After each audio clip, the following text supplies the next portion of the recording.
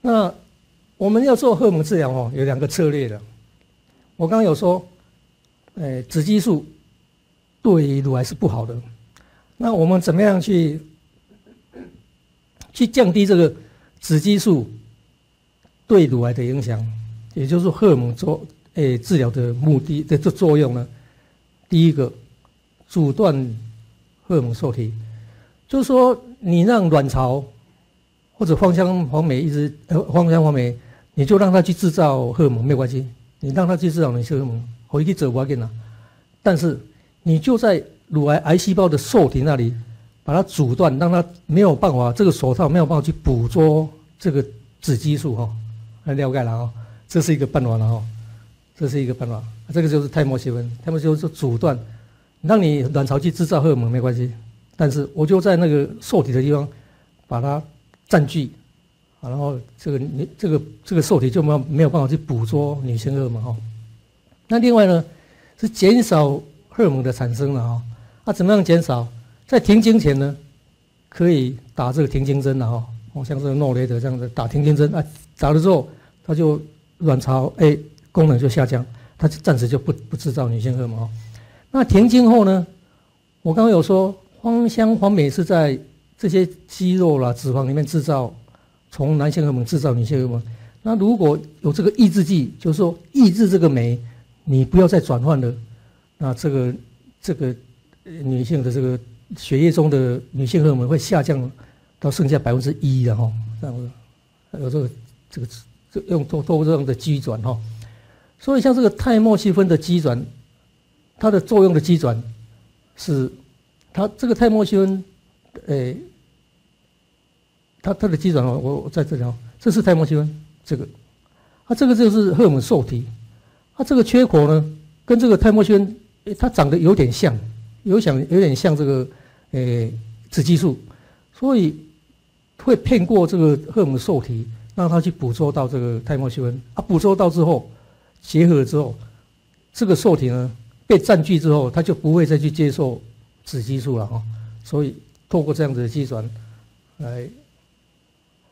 那芳香黄酶抑制剂的作用，我就刚刚在也稍微提到这个了，呃，在我们知道芳香黄酶是在雄性激素转换为雌激素，啊，它的作用是抑制这个酶，你不要再转换了，打上你不要再转换了啊，不要转换，终端产物就没有产生了，它就没有制造出雌激雌激素来哈。啊，那这个停经针的作用机转呢，它是作用在脑下垂体这里啊，呃，脑下垂体本来会分泌这个。这个荷尔蒙去刺激卵巢，说：“哎，你开始工作，你分泌比较多的雌激素。那这里这个针打下来，从这里阻断掉，卵巢就没有接受到命令啊，它就减少或者抑制这个这个雌激素的分泌，然后是通过这样子的停经针的机转。嗯，这个荷尔蒙治疗的三种制剂比较常见的啦，就是说，等一下我会。因为，等一下有人讲说用多久的时候，两两种药、三种药都会用到了哈啊，所以要特别再解释一下啊，有泰莫西芬，有芳香黄酶抑制剂，有停经针啊。泰莫西芬会简写成 T 啊，这个泰莫西芬用于什么时候？停经前可以用，停经后也可以用。啊，芳香黄酶抑制剂只能用在停经后，为什么？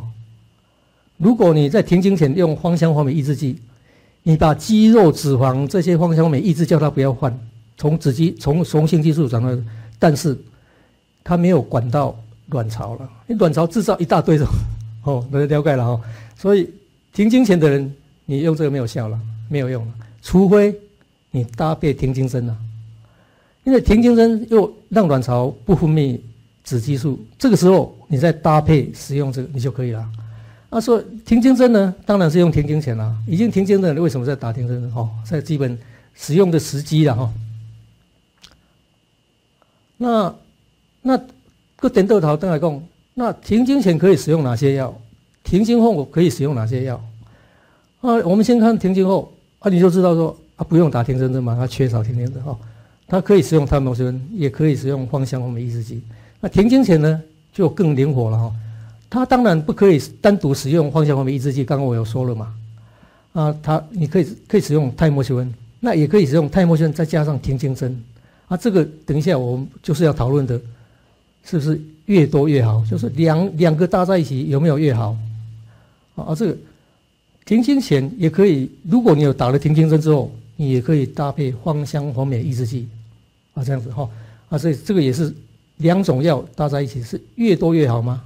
越多越好？等一下我们看哈，啊，但是呢，我要讲说越多越好或者越久越好之前，我们也要了解这些药的副作用。为什么？如果每种药都没有副作用，那你没有没有关系啊，你就是假如咕噜后嘛，假如贼如后嘛，干不起呢？但但是就是因为有这些副作用，所以你就必须衡量。它的好处是什么？坏处是什么？天平这样子啊，我们做一个最后的决定，说要用不用哦，这样子哦。啊，泰莫西芬呢，最被诟病的副作用就是子宫内膜癌。我刚刚有说，子宫里面有荷尔蒙受体，所以你吃了泰莫西芬之后，它会作用在子宫内膜，所以在吃泰莫西芬的人，他的内膜就一直增生，到最后有千分之二的人会产生子宫内膜癌。那我的病人里面就有有一。我想差不多有差不多十个左右的已经造成，因为因为我已经开过十几千个病人了哦，做十个人产生子宫内膜癌是真的会产生哦。那我我的女儿是念公共卫生啊，她的那个在美国的那个硕士就是用这个泰莫西芬，台湾人吃了泰莫西芬之后造成子宫内膜癌的比例，跟吃的年限三年四年，哎两年三年四年是有差异的。就是说，真的会产生子宫内膜癌，呃，比例多大？是在外国的统计是千分之二了哈。那他用了十年的时候，等一下会看千分之四哈。啊，所以真的会产生哦。啊，再来，那这些副作用也不提了哈。芳香黄美抑制剂最被诟病的是骨松了哈，不是疏松。那另外动脉栓塞会造成心脏病的影响哦，这些都有。啊。那停经症当然就是更年期之后了哈，这些也都会有更年期这这两都会了，所以要衡量